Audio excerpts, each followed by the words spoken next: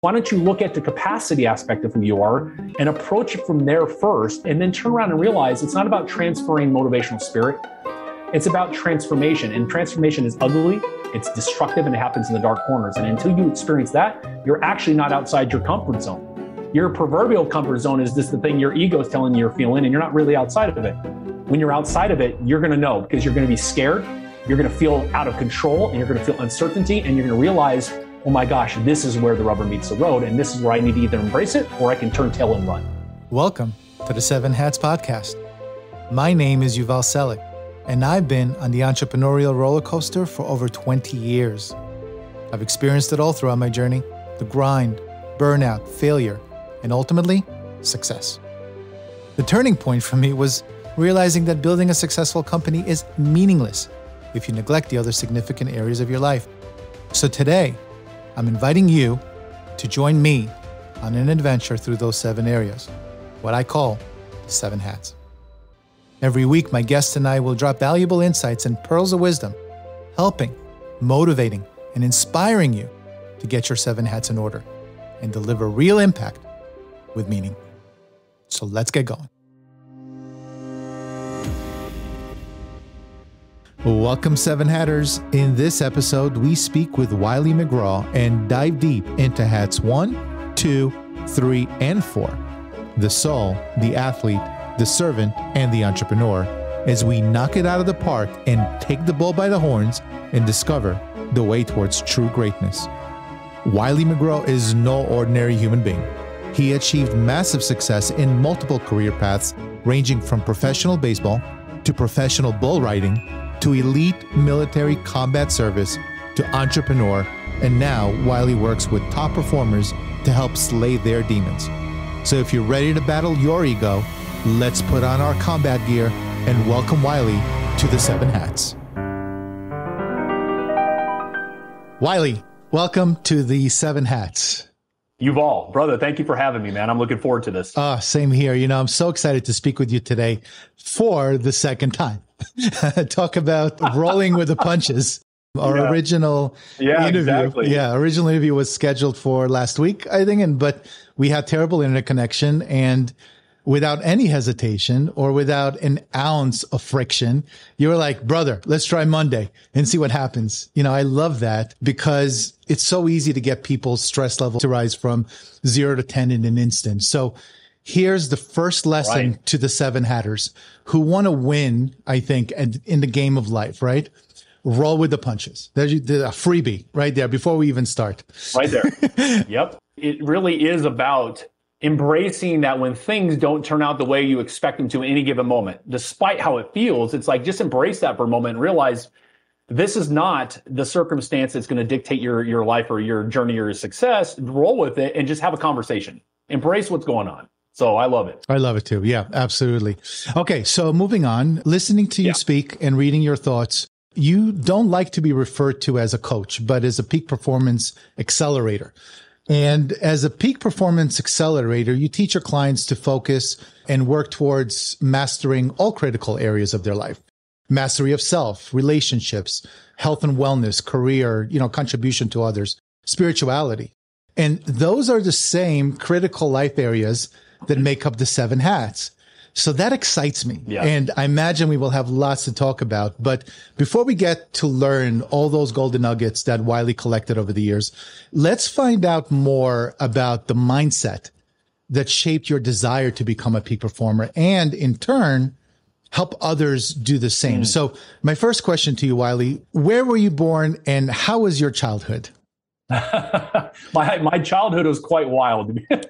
I was uh, Yuval, I, I was born in Southern California, oldest of three boys, and sports was an obsession in my household. My father was a semi-pro ball player in the '70s, and as I I grew up uh, in that kind of environment at a young age, my dad recognized my talent. I had an arm. Apparently, I was three years old, and I picked up a ball and I threw it, and it was like that's that kid needs to be on a mound, you know. And wow it was amazing because again, it was not like I had the choice to become a baseball player. I was forced into that world, and I don't get me wrong, I love it. I love being a leader on the teams that I played for, being a pitcher, start uh, starting pitcher. Um, so we we practiced religiously day in and day out. My brothers did their sports, wrestling, football, track and field, soccer, etc. But my primary focus was baseball. And that was all I was expected to be. That perfectionism that came from my father's dire push to make me a pro, it was good in the beginning, right? And then yeah. I started to recognize as I got older, something's amiss. Something's going on here. I'm feeling like I need to separate myself from this. I started to find myself wandering mentally into different realms. I, you know, I was also writing poetry as a kid. I collected and traded baseball cards. Um, I was all about BMX riding, and I felt like there was an imbalance at a young age. And I started to realize something's uniquely different about me because of the way in which even my brothers are treating me, my father treats me, how everybody comes to me with all of their stress and their issues. So it never allowed me to just be a baseball player. And as I got even older, that push, that desire to make me the best, to make me elite, fractured me mentally. That mindset started to change where I thought, this is not actually what I asked for. And I started to seek out something outside of my father's control, my family environment. And I started to go after some challenging, radical places that I felt I could just be more myself in the world of rodeo. I met people through through colleagues and friends in high school, and it just turned me on. It was seductive, it was exciting, it was dangerous, and I realized this is where I wanted to be. I found myself feeling and connecting to emotions in ways I never had before, tapping into this power that I didn't know I possessed, and meeting a side of me that I've been wanting to meet as a man. And I just got lost in that world and started riding bulls. I got turned on by it. And I remember that very first ride, that bull slipped in the mud and landed on my leg, and we locked eyes, and that stare changed me forever. And I realized this is what it actually feels like to be holistically me to be the, the, the I chose this. I'm, I'm pursuing something that makes me excited, that turns me on. And then I started to reflect constantly every time I rode bulls and every time I went to a rodeo. And I thought, there's got to be other environments out there that really challenge me even more than this. There's got to be ways in which I can become a better human, a better person.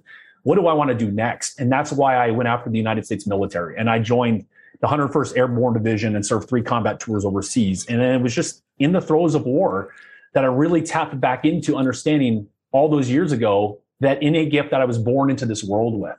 I was unique and different. I possessed something that I didn't understand and now I get while I was in the middle of combat. And it was that ability to truly erupt blind spots, people's stresses just in my presence and focus and connection to them. And then utilizing my leadership skills around what comes up to then redirect our focus, our intentions and our operational efforts for the ultimate levels of success in our performance. And I got excited by that, got out of the military, pursued self mastery. And then I decided, you know what? I need to build something for myself around this holistic life that I've developed so that other people that are missing this component can live this way too. Because I saw a major flaw and blind spot in the personal development space that nobody was talking about. Everybody was in concept of it, but I was watching how leaders and, and public figures and, and all these other people were saying one thing, but their lives were in turmoil over here. And I was like, I, I want to end that. So i have been on a crusade for the last 14 years to do this radical work, slaying the demons of powerful people because of my life experiences that didn't make me or break me. They just introduced me to a version of myself that I've been waiting to meet so that I can turn around and impart that wisdom and impart those experiences for these powerful people to do the same and connect all, like you say, the seven hats into true holistic optimization. So they're no longer battling demons and they're living their life from their fullest place of, of peace and freedom while they're infecting and influencing those around them.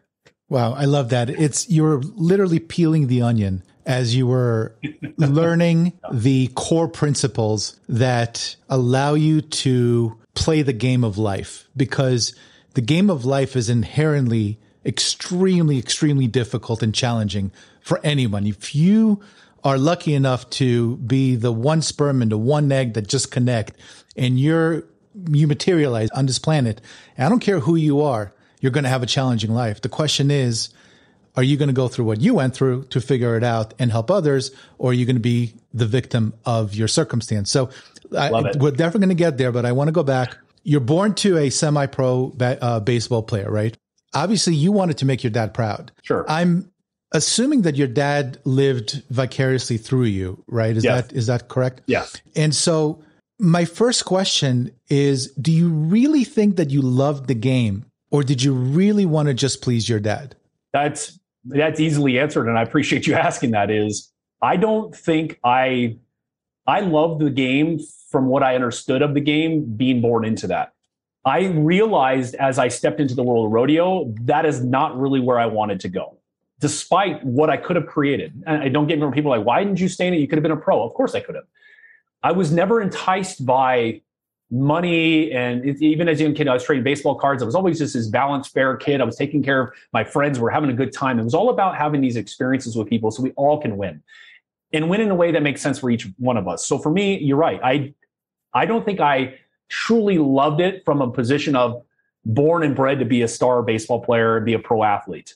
Even though I had the talent, it was just I was playing for the expectations of those around me, which that was the external pressure that overwhelmed the natural stresses and pressures that come along with being an athlete, which created that contrast for me to identify something's different here in my life and I don't like it. And I need to shift my focus, my mindset, and my pursuit to a different place so I can experience what it is I'm meant to experience in this world. Because, and I'll finish this with this specific thing, Yuval, is I was always the place in my family dynamic or friends growing up where everybody turned and brought all of their the way they erupted around me the chaos they experienced i was the place where i i was essentially the janitor. So mm.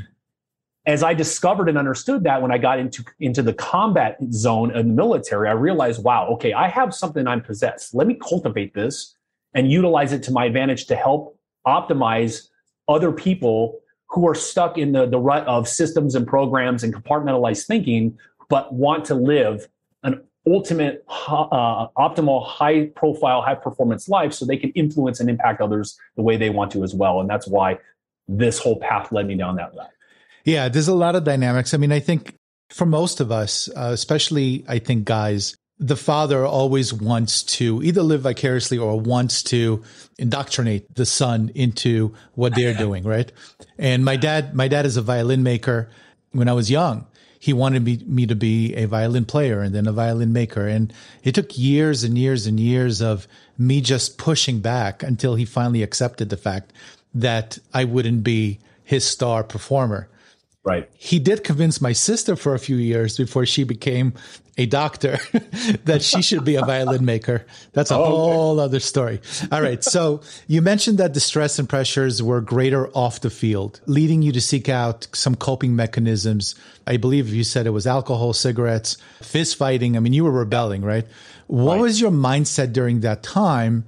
And what did you learn about yourself and your relationship with your dad especially when you told your dad, Dad, I'm not playing ball anymore?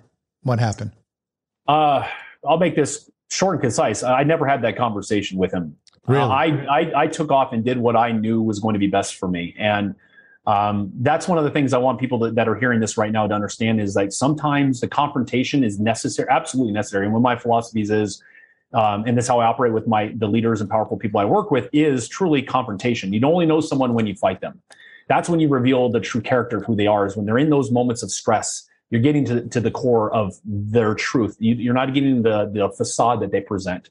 But with my father it was i started to do things i wanted to do that fulfilled me and it uh, automatically as a byproduct created the separation and the break. And i decided to just go full force into the direction that felt right despite whatever reactions or feelings that these people were going to have because i knew despite how scary that might have been as, as a young age, uh, having that confrontation with your your father, your mother, etc., because it can be un- very uncomfortable when you have that as a young person. I didn't care.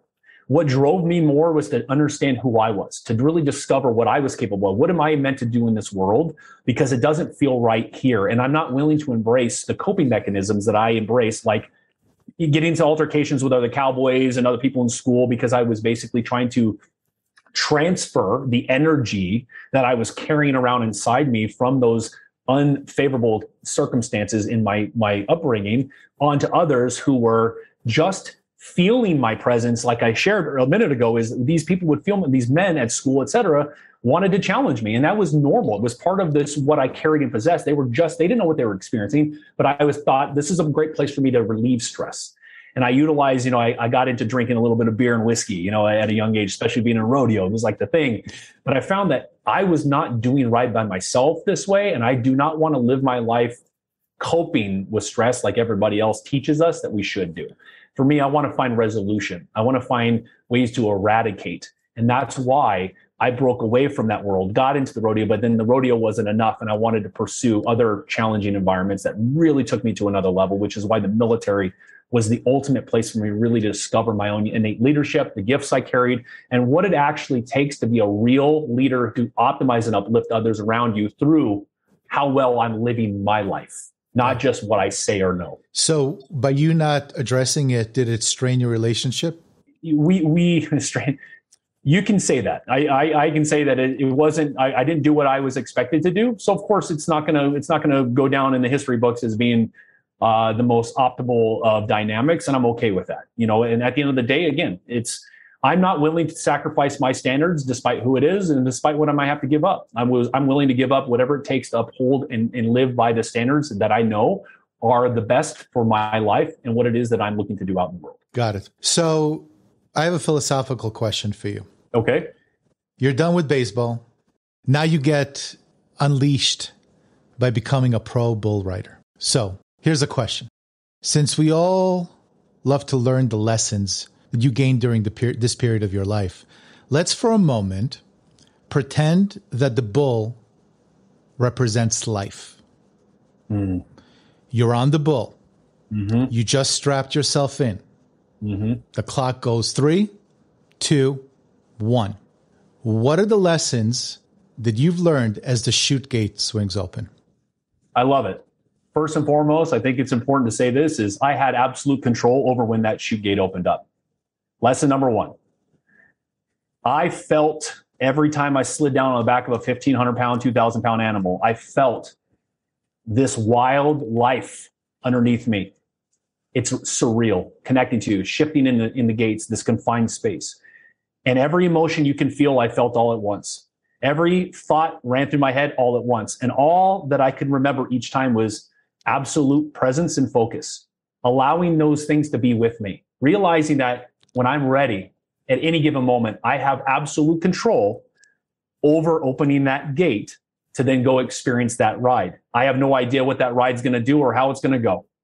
But what got exciting every time was the fact that I was in control of the challenge that was presenting itself before me. And every time I felt that moment of deep breath, I'm ready, I just called it. I never hesitated. I never let fear come up and tell me, hold off a little longer, wait, maybe this isn't right for you. Anytime I started to experience fear when it was time, I stepped towards it anyway and called the gate. And when that gate opened up, everything in life goes quiet. That eight seconds, if you're lucky to cover a bull, is what we call it feels like an eternity. All that matters is you are absolutely present, you're grounded and centered, and you know exactly what will happen because you trust your training, you trust your gut, you trust your intuition, and you just stay connected to the bowl. And the, the outcome itself shows up for you because you're not worried about what the outcome is going to be. You're not worried about the fear or the potential harm that could come from it being thrown off, stepped on, which I have been multiple times it didn't matter.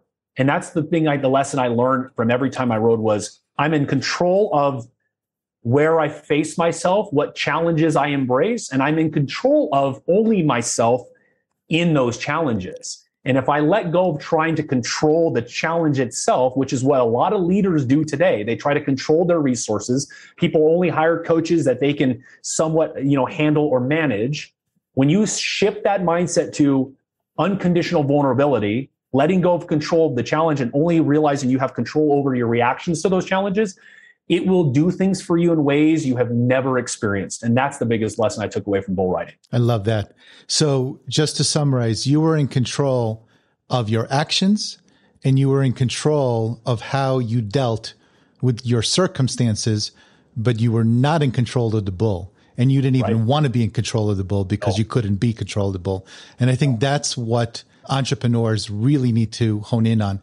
They try right. to control the bull. They try to control life and then they get yes. kicked in the face constantly, constantly. Constantly. And that's the thing is I learned with some of the pro rodeo mentors I had around me. Um, one of the things when we were practicing on barrels that we have when we practice like these, they tie these barrels to these ropes and they, they teach you as they make you buck on these things. And they would tell me, just like in the Kung Fu and martial arts that I practice is learn how to yield and surrender, learn how to actually embrace you know the ability to let go while still maintaining some some positive um, uh, groundedness to what you're doing they said the moment you let go of the bowl the better you're going to ride because you've got the skill and the training and the more i would surrender that idea and i would let the ego go stop and i let my just I completely get give into the intimate connection with the animal man, I'm telling you, I rode so much better. I had so much more fun. I actually covered more bowls. I won little jackpots here and there. And I realized that in itself is going to be the only way I'm going to move forward in life. And you were loving it, right? Life was. Oh, it's so exciting. It was so exciting. Yeah. And so, why did you end your bull riding career? And why did you decide to become a combat infantry leader? You know, and, and then again, what did you learn during your time in the military? Well, I joined the military while I was still riding bulls. And uh, what the beautiful thing was being in the military, you have opportunities to have leave, time off. And every time I had time off, that's where I went. I was always traveling around different parts of, you know, the South, et cetera, finding jackpot rodeos to enter in and being part with my friends still back in, in California. And uh, would go home on leave. I'd go ride where I used to ride. So that didn't really go away. It wasn't like a, a start, stop going to the military. But I realized the day that I, um, I entered a jackpot on leave, and I remember uh, feeling something different that I had not felt before. Some so real fear was there, and I said, "There's something's funky here," and I didn't listen to that gut feeling. Mm. And I still got in the back of that animal. And when I slid down in the back of that animal, I looked at it, and it, I mean, this was this was a monster, and I and I felt, I felt uh, something like an uneasy earthquake inside. I was like, "There's, this doesn't feel right." There, I and but yet given a little bit of the ego, given a little bit of like, I really love what I'm doing here, I still called my gate. And when they opened it up within about two seconds, he I thought he was going left. He went back to the right and he he spider like cartwheel whipped me to the ground and it, it fractured my lower back. Mm. And when I hit the ground and I started crawling away to jump over that that fence and I laid uh, across the grass and my buddies were holding me and, and trying to get ice packs, I realized I didn't listen to my intuition, my gut, the real version of myself that was telling me it's okay to pull out of here. I got injured for it. I'm never going to do that again. That is me battling up against, despite what it is I'm looking to get done in that moment. That was me battling up against a part of me that was telling me this, you're done. You don't need to do this anymore. And the universe forced me in that moment getting hurt because I'm a big energy. So I got to get hurt to actually learn the lesson slam me on the ground, goes, wake up. You don't need to do this anymore. It's time for you to move on. And that's why I shifted away from bull riding, focused on just my military service and then where I wanted to go from there. If you had an injury, how did that affect your military service? How do how were you able to to go to combat? Well, that's, that's a beautiful thing about being in the military. And I was on I was on leave on vacation. I had doctors and resources at my disposal, given the fact that I was in combat arms with one of the most elite units in the world.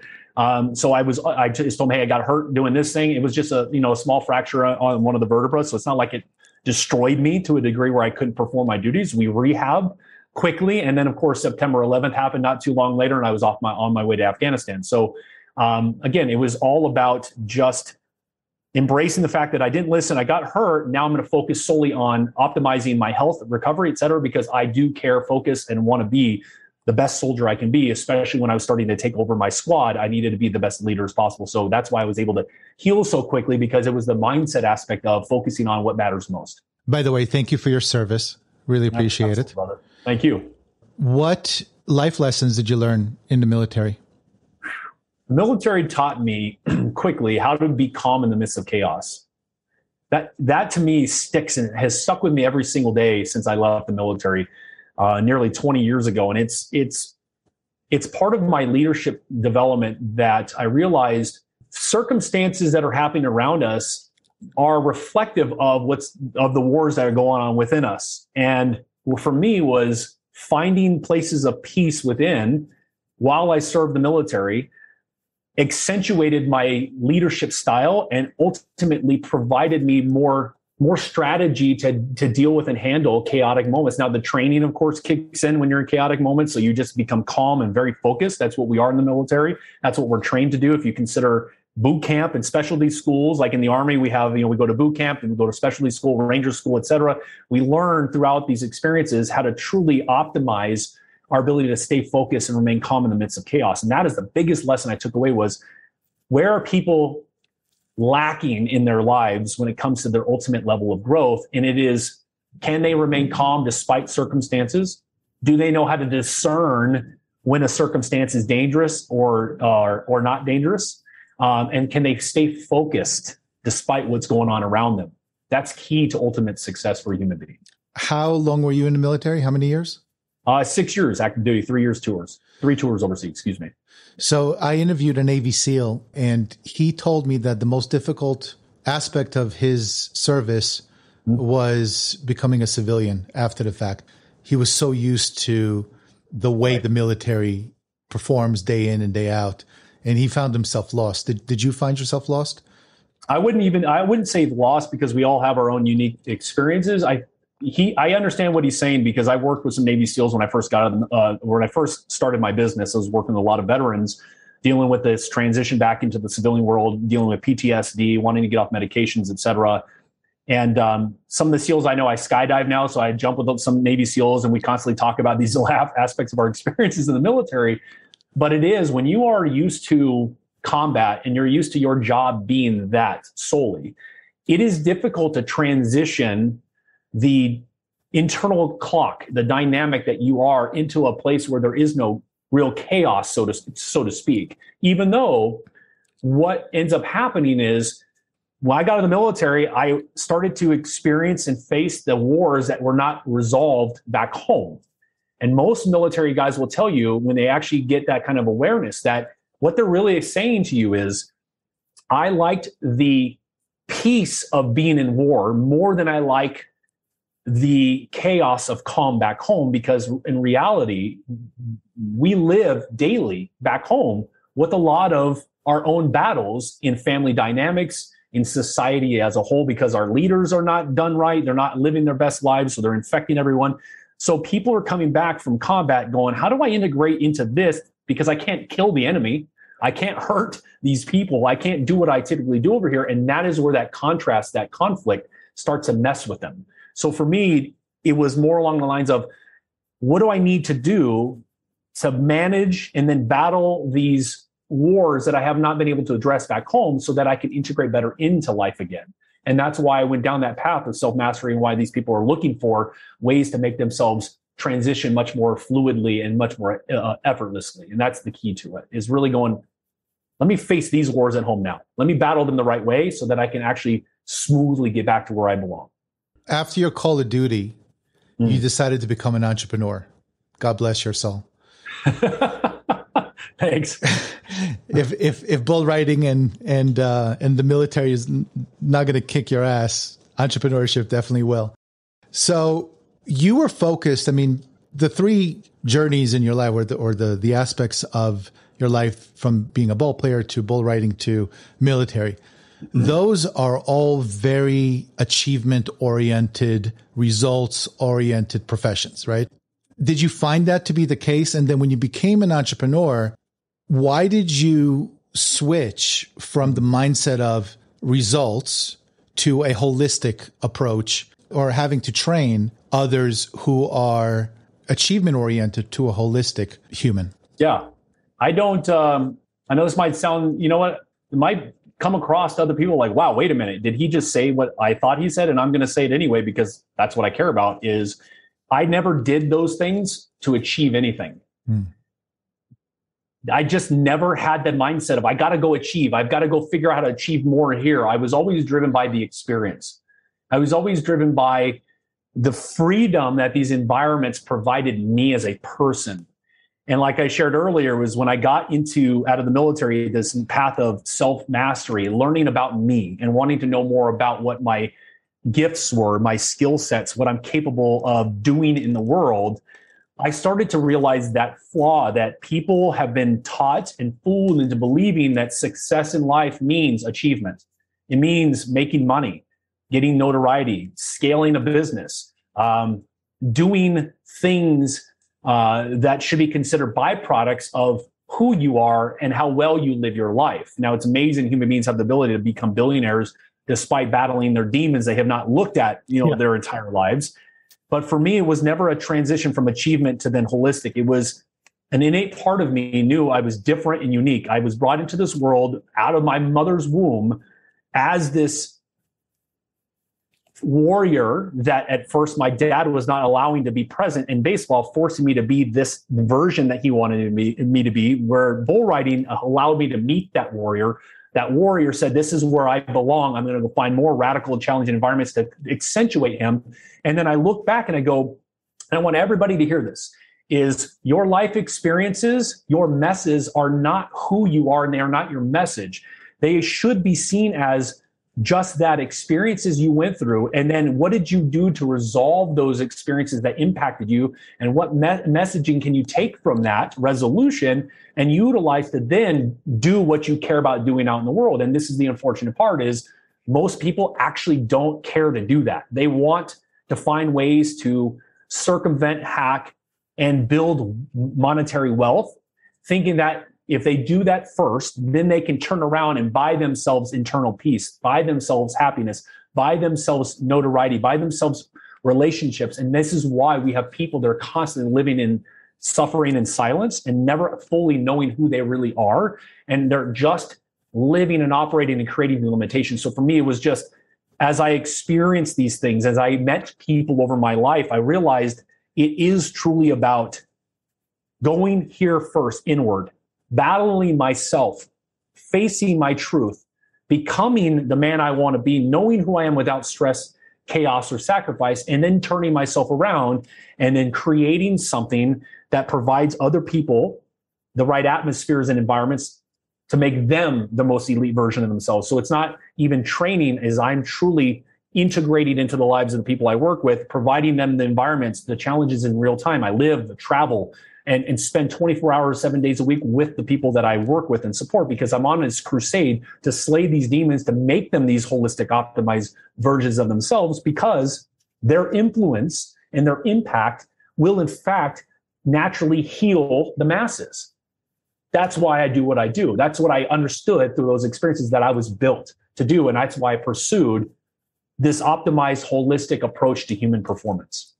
I mean, you're going deep in and looking at the core problem, right? The core issue that creates all the symptoms in our lives. And I think that what's interesting is how you were able to figure that out. And you're a young guy, so early on in your career, where so many have a problem because they're just trying to fix the symptom and they keep on solving for the symptom, never fixing the core problem. And yeah. then they wonder why their life is a mess. How did you figure that out in, so early? You're just saying you were born with it? Yeah, I was born with it, but I didn't uncover what it really was until I got into the military and I got put in the most. I mean, you go to combat, that you want to talk about the ultimate suck fest, go to war. That's that's the true place. And in those moments, I started to put the pieces together that this is all the experiences I had made sense now for why I'm built a certain way, a different way than most people. And that and that is what I, I need to understand more of. And then utilize that and build. I built my business around that. It's like everything that I do is this crusade. It's not about my bottom line. I'm not out, I'm coming out of the shadows after 13 years, not because I want to grow and scale. It's because there are leaders there, even if that's that one person out there that doesn't know I exist, but knows they need this type of integrated, inside out, true human performance acceleration, then they then I at least I've known that I've done my job and I've come out to this world to complete my mission. So it's really an innate part of me that I discovered through those experiences and then I cultivated over the years and now I just own and command and I put it out into the world to signal to these leaders, hey, look, stop living this life that's compartmentalized where you are sacrificing your relationships and your health you're sacrificing your mindset and your focus you're sacrificing your emotions you're chalking everything up to being outside of you and realize the only way you're going to get to your ultimate level of success and truly live optimized sustainably is if you turn inward and you face your demons. You battle them head on with the right resource that can get into the trenches with you that you can like the bull you cannot control. So you can actually experience that ride that you've been looking for your entire life. Wow, I love that because I've always, you know, thought that life is a reflection of who you are inside. So if you look at it, if you think about a projector, a movie projector, and it's projecting onto the screen, it's projecting what's inside, you know, that film. And most people go out and try, like if there's lint on the lens, they try to clean the lint off of the screen rather than the lens. Yeah. And so, and so what you mm-hmm. just said is very, very poignant because ultimately it's not about the outside. It's the inside that creates the outside. And if you try to fix the outside, you'll never fix the problem because the problem is within. Right. And I'll give you a, one more example. I had this short conversation with this billionaire not too long ago where, and this is the mindset of these people at the top. They, they believe that their problems are outside of themselves. They, they try to find solutions from the, their resources, coaches and consultants that, that come in and, and utilize their own education and their own skills and their own um, you know strategies to, to fix the problem when in fact most difficulties people face don't reside within the problem themselves. They, they're elsewhere. But if you don't have anybody that knows how to see those things if you're not actually willing to get into someone's life with them which most people unfortunately are not then you're never really going to see the truth about what's actually plaguing that person causing this problem to show up. And if we can get to that solution first, we can go inside out, fully integrated into someone's life and truly get them to experience and stop being afraid of themselves, they'll notice how their difficulties resolve much more effortlessly. And then the problems kind of just go away and they get, get to know what it's like to have a more seamless growth in the companies they run or the lives that they live. Yeah. In, in, in my theory, I think billionaires have it the worst because they can buy their way out of a lot of right. problems and not have to address it. But the problem is, as Oprah said, the universe is going to throw a couple of pebbles your way. And if you don't pay attention, that boulder is coming right around the corner. It's going to hit you square in the head and no m- amount of money that you have will be able to fix it, which is why you have billionaires who are on antidepressants while everybody thinks that the money or the achievement or whatever it might be solves all your problems you know, I, I tell my wife all the time, if you can't be peaceful, if you can't be happy, if you can't find contentment, if you can't, when you're poor, when you don't have anything, you'll never find it when you're rich or have achievement because ultimately it, it it's like alcohol. It accentuates everything that's inside. So if you're angry when you're poor, you're going right. to be angry when you're rich. Probably right. worse off, right? right, right. So you became an entrepreneur yeah. What were the initial challenges that you faced building your business? I mean, there's, I've never heard of an entrepreneur that just starts the business. Everything's flowing. They get customers, clients. Everything is just honky dory. What were some of your challenges? How did you overcome them? How was your experience with your previous roles? How did that help you navigate and, and create a great company, which is what you have right now? Yes. And, I, and I'm glad that you're asking that because again, of course, my unique set of circumstances are going to be different from everybody else's. But what's what's amazing was I remember I was getting ready to be a firefighter, and my amazing business partner, she's like, you, and again, this is where I was trying to discover what do I want to do in the world? How do I want to help people? And firefighting to me was like, you know what?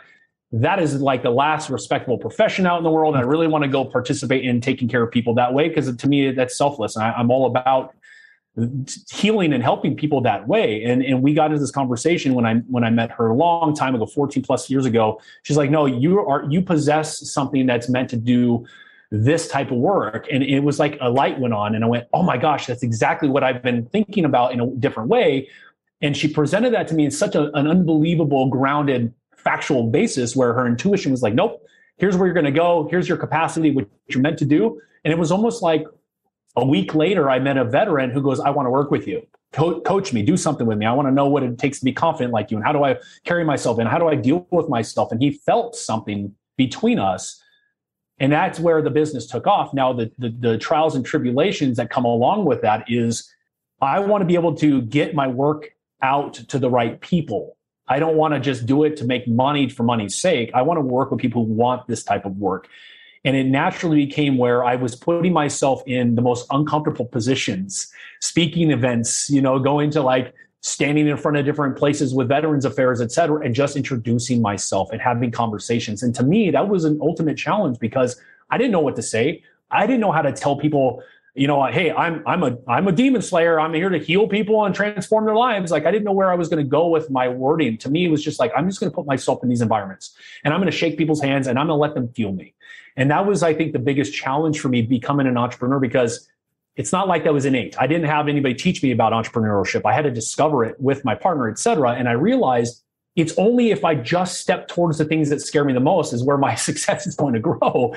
And by doing so, I started getting invited to like, you know, speaking events uh, for Veterans Affairs with US Congress people. I started, to, I got interviews on NPR, NBC on different segments around uh, Veterans Resource Centers for colleges in California. I went to a speaking panel where I actually uh, keynoted the the opening up of 56 Veterans Resource Centers across the state to help vets come home and transition back in. And I realized every time I put myself in this environment and I say yes to this thing that scares the crap out of me, that's where my entrepreneurial vision can grow. And it started to, to grow and accelerate that way where the veterans I was working with said, I want you to meet my doctor. I want you to meet my lawyer. I want my friends who are professional baseball players. And that's where I became this word of mouth behind the scenes pass along resource. And it was only when I would put myself in the most arduous positions that I experienced real success in my growth when I started to feel myself pull away from that, that's when things kind of got a little funky. And I realized, I was like, oh my God, I just got to get on that bowl again, man. And I got to just call the gate regardless. And if I get a little banged up, so be it. But damn it, I'm, I'm on a mission and I need to focus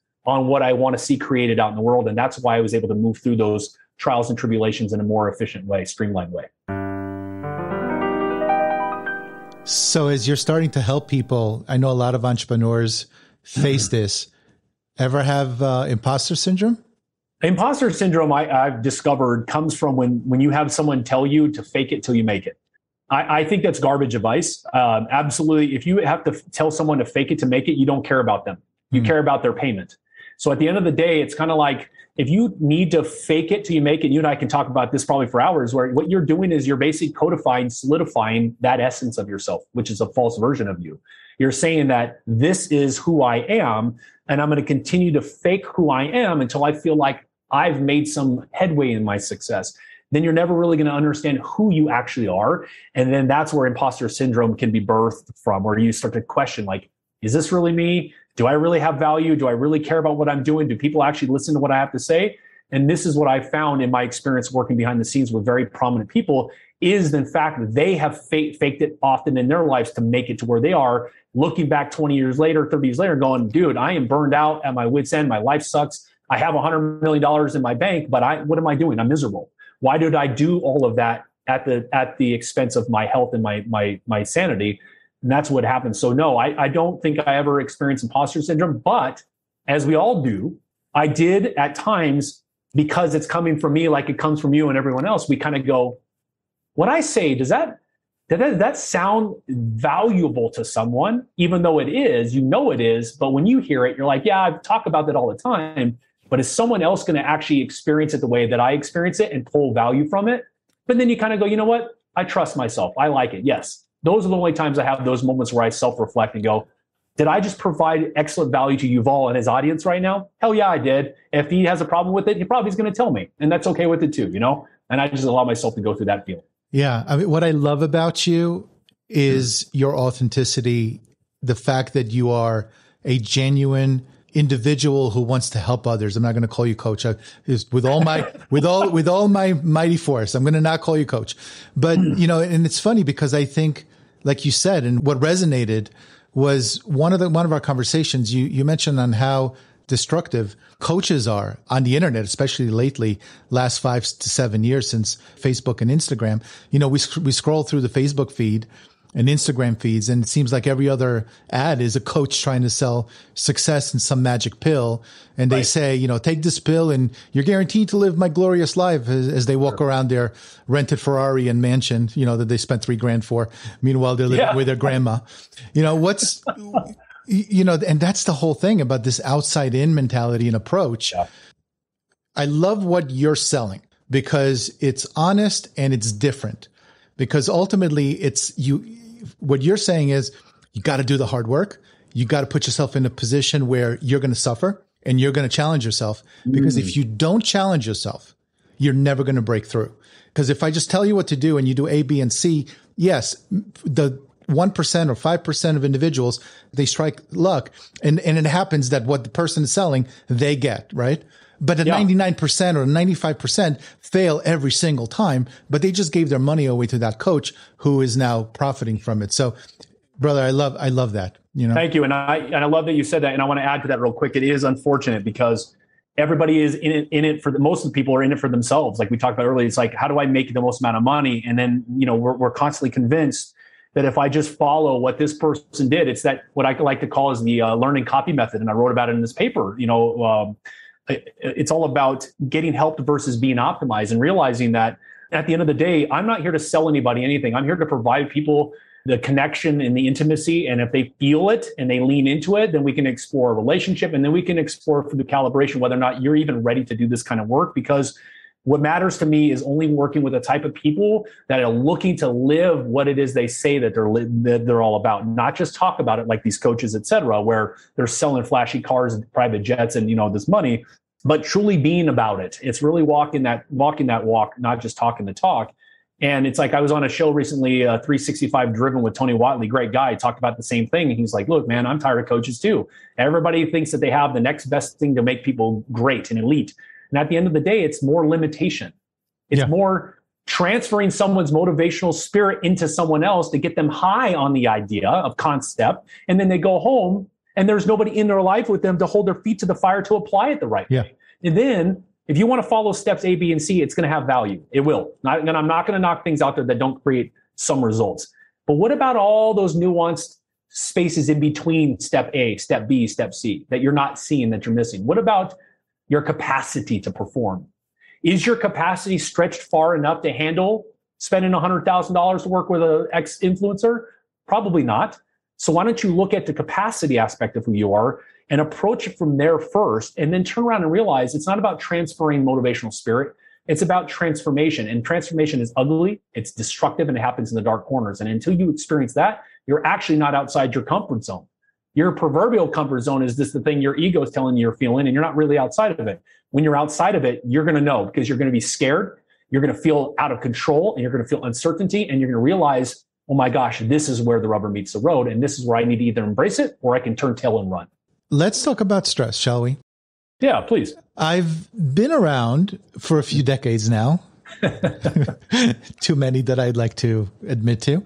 And I don't recall ever seeing such a rise in collective human stress. You mm. know, the last two to three years were brutal to so many. And of course, you know, with this much bad news raining upon us, you know, as we listen to the news, scroll through the social feeds, speak with our friends and family, mm. you know, in your own words, one, what is the definition of stress? I'd like to hear what you think of it. And, and two, you mentioned that there are two types of stress. And finally, what's your take on the past two to three years and what you've seen out there with your clients? First answer to your question, what, what is the defin- what is my definition of, a, of stress? Well, you got to identify, go into the second part of that question is you got to identify the different types of stress that we live with. Understanding that we have what is normal stress of being alive, being human. Life is its own unique set of circumstances and challenges that we navigate. There are going to be normal stresses you cannot eliminate. Being an entrepreneur is one of them. Running a business, they're stressed. dealing with dealing with teams and marketing people and PR, it's like oh, you got a lot on your plate. That's a stress.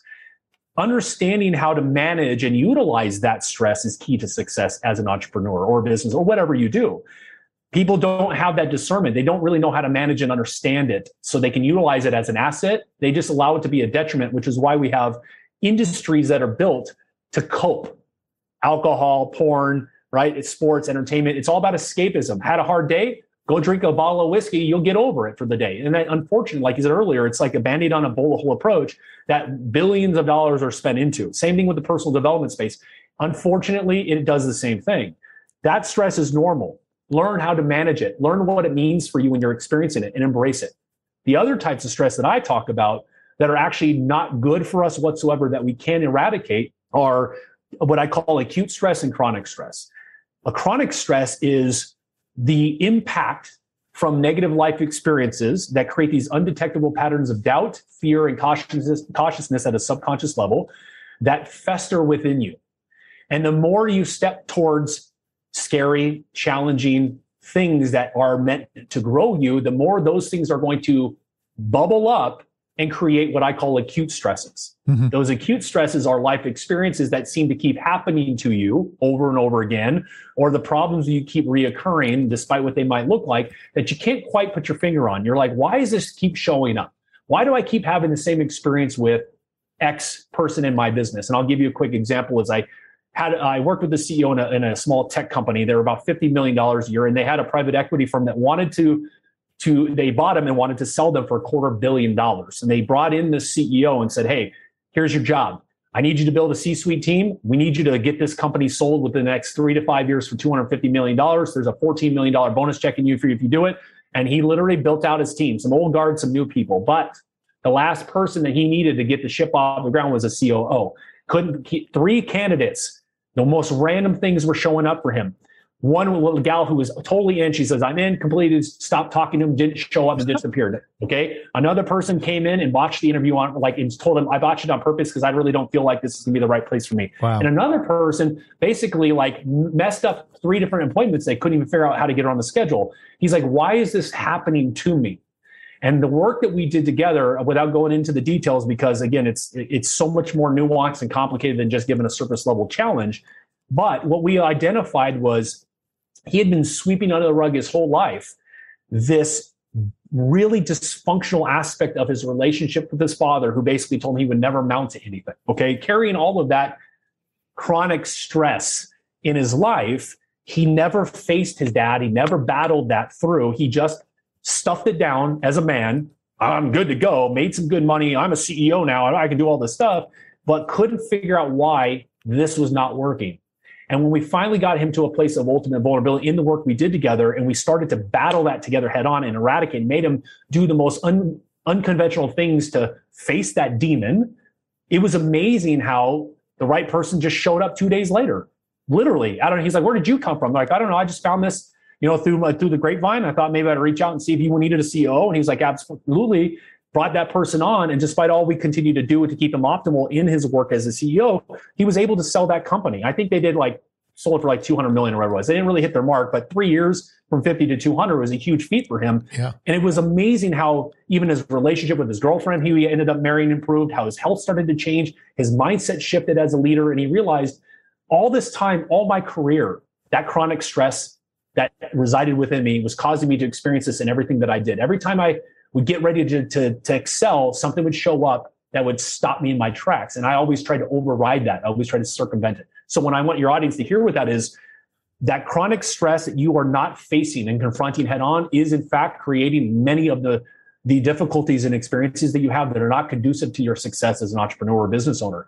If you do not turn around and battle that chronic stress and resolve it, pull out the roots of that weed permanently, you're going to consistently experience acute stress, which goes to the third part, Yuval, which is great, is over the last three years, four, five years, and I've experienced this in my entire career of almost 14 years being behind the scenes with these people, is they believe, again, everything is outside of them, that people bring the stress into their environment and cause them to stress out. They believe that everything is outside of them, everything's compartmentalized. They don't consider where in their life are they not looking at that's causing X to happen in their companies, and they don't know what to do about it.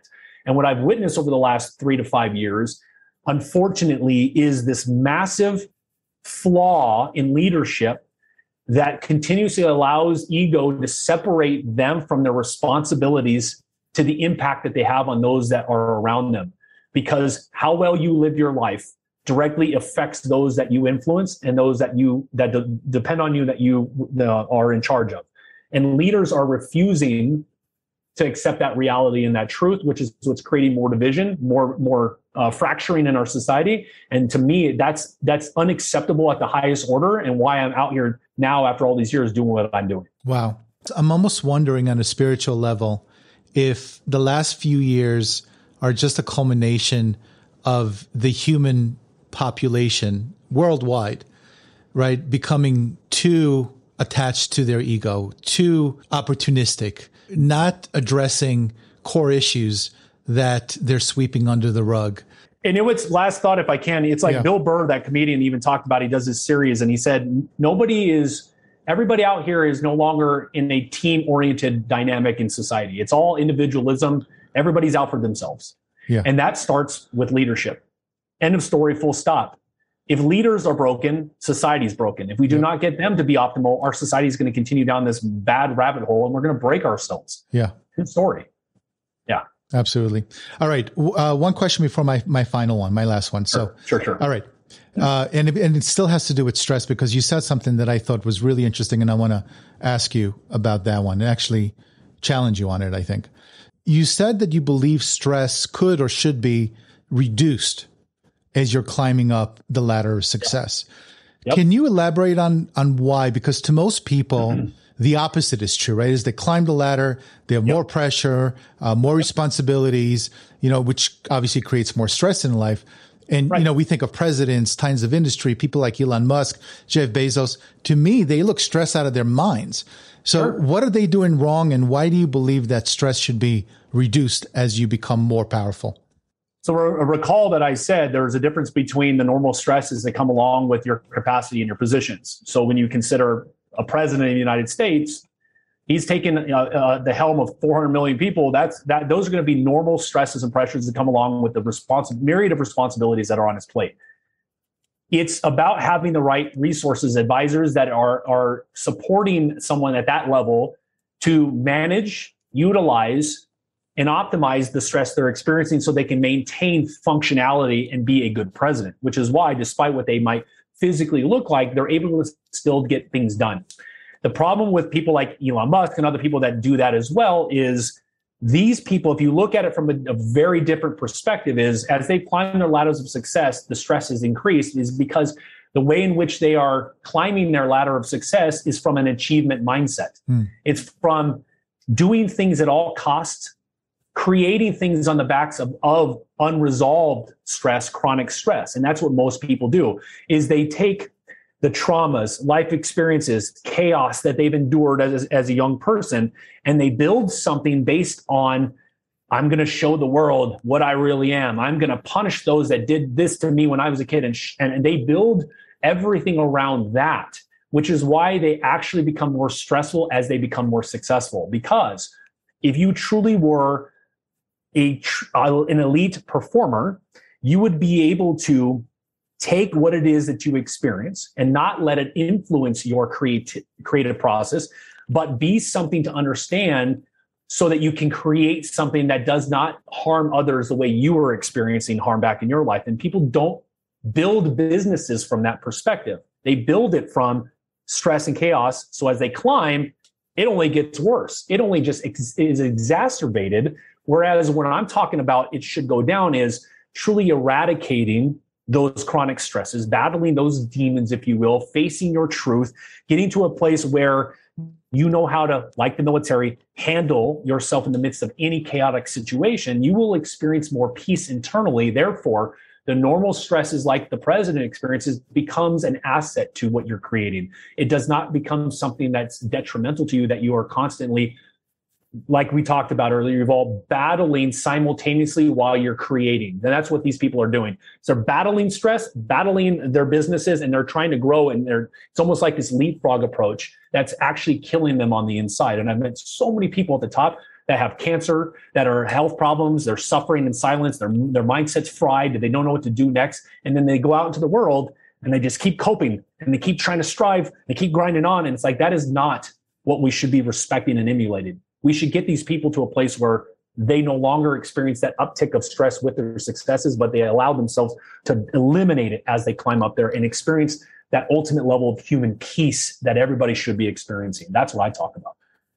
What a great ending. What a wonderful golden nugget. So, Elon Musk, if you're listening, which I'm sure you are, you're too stressed out, man. Call Wylie. He'll fix you up. Quickly, radically, yep. Radically. All right. So, Wylie, I'd like to close on my interviews with the following question. Yeah. Who did you have to stop being and who did you need to become to manifest your current success?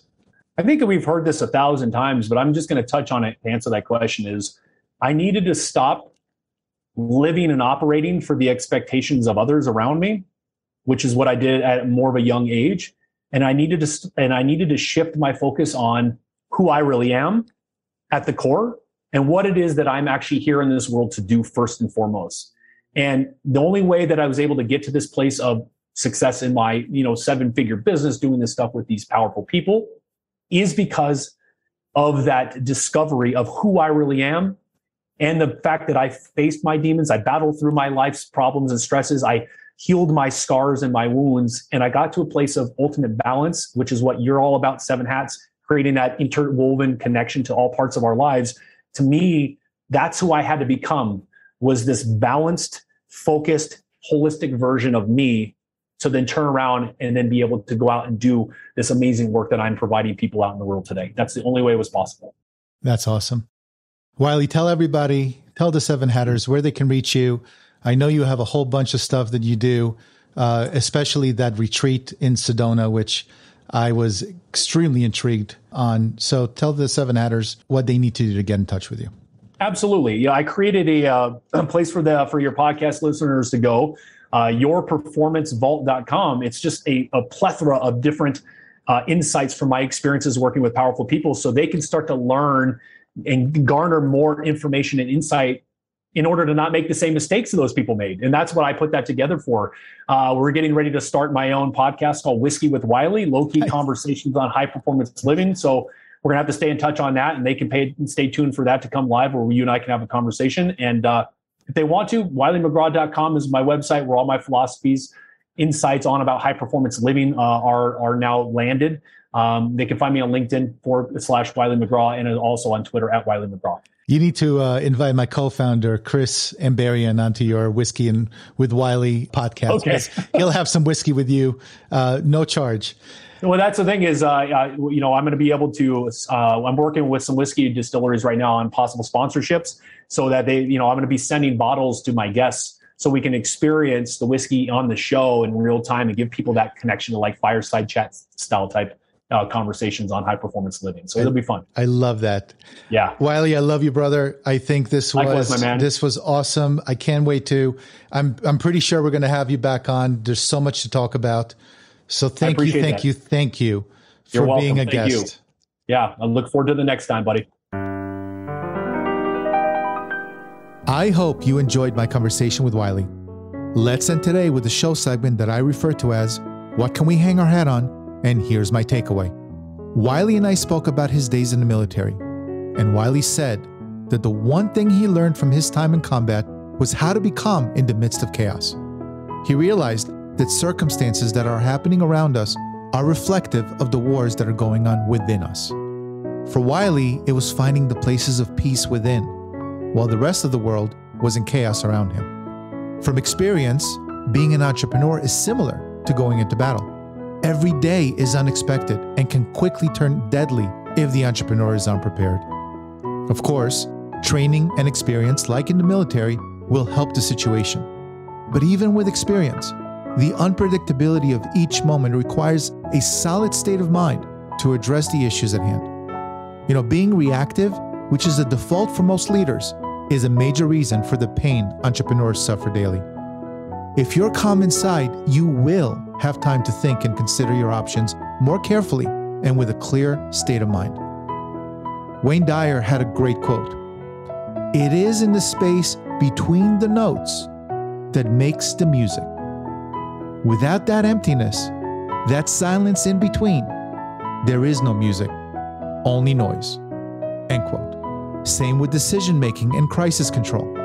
Without that space between the notes, there is only noise. And when there is noise, it's impossible to make wise and confident decisions. I wanted to thank Wylie once again for joining me so that we can all benefit from his wisdom. And until next time, if you found this episode helpful, please hit that subscribe button and tell other entrepreneurs out there what value you receive from it so that we can attract even more high quality people into our Seven Hats community. So for now, I will bid you farewell and success on your journey. And until next time, my name is Yuval Selik, and I tip my hat to you.